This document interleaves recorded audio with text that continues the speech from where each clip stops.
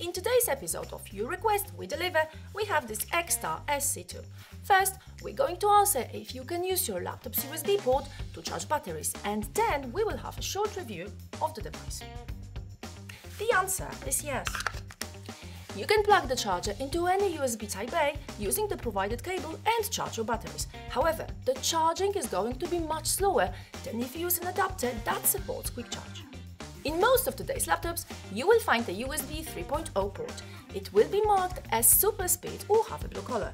Those ports can provide up to 0.9 amperes, whereas the compact charger can charge up to 3 amps. Well, moreover, it comes with a special orange USB cable. That's not just to make it pretty, it means that this cable supports quick charge. Bottom line, you can charge it with your laptop, but why to limit yourself? Now, let's talk about the charger. The XTAR SC2 is a compact lithium-ion battery charger. It has two slots, each with its own LED indicators. It can charge various rechargeable batteries and is made of flame-retardant material, which makes it safe to use. It can charge one battery with 3 amps or two batteries at the same time with 2 amps each. At the back, we have a heatsink together with model name, input and output power, a list of batteries you can charge, certifications and a warranty number. On top, we have a micro USB port which can support up to 4 amps, 2 amps for each battery. If you want, you can skip the charging part, however it is worth going through the package contents.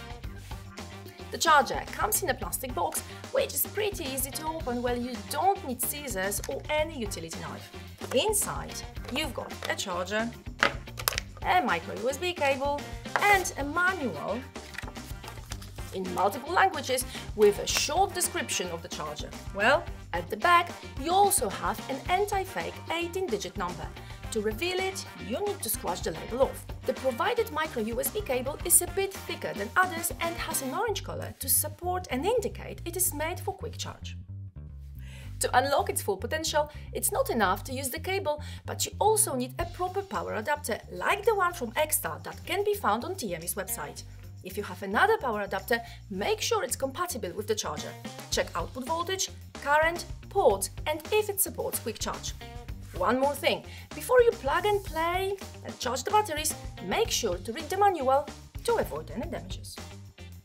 To get the full 3 amps out of it, we are using power adapter that is compatible with the charger and provided micro USB cable. To test it, we have an 18650 battery. By the way, if you want to learn more about batteries, check this video. After plugging the battery, the LEDs will light up one after another to show that it is checking the battery. If all four LEDs are blinking, you need to flip the battery. The next step tells you with what current the battery is charging. For 3 amps, 3 LEDs are blinking. For 2 amps, 2 LEDs are going to blink, and for 1 amp, just one. After that, the LEDs light one after another to show the charging process. If the battery is full, all 4 LEDs will remain on.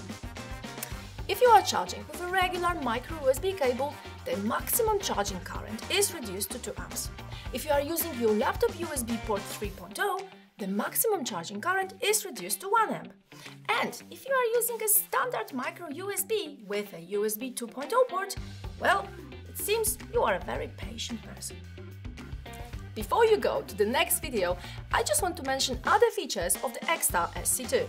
If you have old batteries that do not have over-discharge protection, our compact charger can bring them back to life with the 0 volt activation function. To maximize the battery lifespan, the charger uses a three-stage charging function. It has a current buffering technology, and when the battery is full, around 4.2, it cuts off immediately.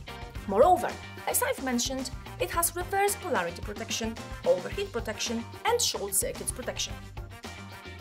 If you would like to know more about those, let us know in the comments, and if you like this video, you can check others as well.